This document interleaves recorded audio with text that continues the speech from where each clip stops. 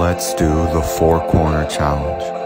First, I'll use the dice to pick four random pieces. Then I'll place them down in each corner and have a minute to figure out the rest of the puzzle.